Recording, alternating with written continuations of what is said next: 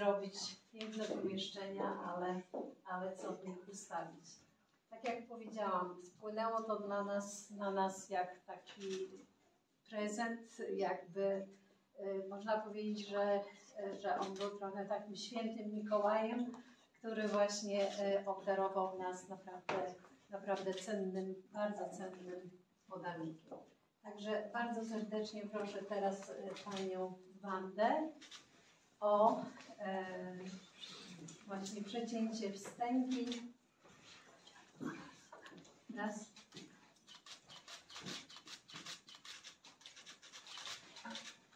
Super.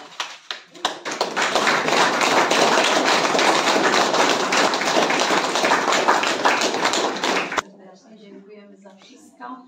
Także można się jeszcze rozejrzeć po wystawie, bo tak jak Państwu powiedzieliśmy, no tutaj większość e, tych właśnie e, eksponatów, obiektów to, to, to są obiekty, które były własnością właśnie honory